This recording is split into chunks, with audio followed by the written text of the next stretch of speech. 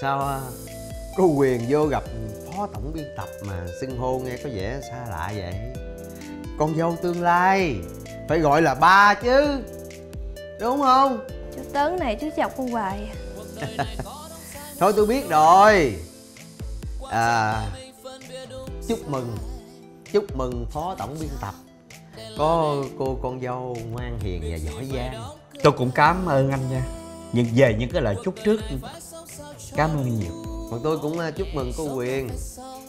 Thấy cô à, khù khờ vậy mà khéo nha. Vớt được con trai của phó tổng biên tập mà. Mong chú điều chỉnh lại ngôn ngữ của mình. Công việc này là do năng lực và trách nhiệm của con làm nên. Chứ có phải con nhờ vả ai nâng đỡ con đâu chú. Đúng. Chính vì cái năng lực của cô á mà chắc là đã được à, phó tổng biên tập xem xét và chuẩn bị phê chuẩn vô cái chức trưởng ban biên tập rồi đó. Tôi lo là tôi lo cái chung Chứ không phải cá nhân như anh đâu. Và tôi khẳng định lại với anh một lần nữa việc tôi làm tôi sẽ hoàn toàn chịu trách nhiệm về phần của tôi. Anh, anh chỉ chịu trách nhiệm về nội dung mà anh duyệt. Còn tôi, tôi phải chịu trách nhiệm nội dung cả tờ báo đây nè. Với biểu hiện 77, phủ nhận vai trò lãnh đạo của đảng đối với báo chí, văn học nghệ thuật.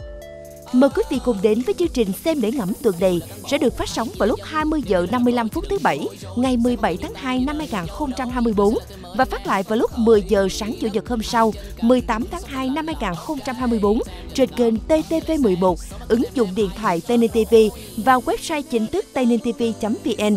Ngoài ra chương trình cũng sẽ được cập nhật trên fanpage YouTube của Đài Phát thanh Truyền hình Tây Ninh. Xem để ngẫm, thẳng thắn tự soi, nghiêm túc tự sửa.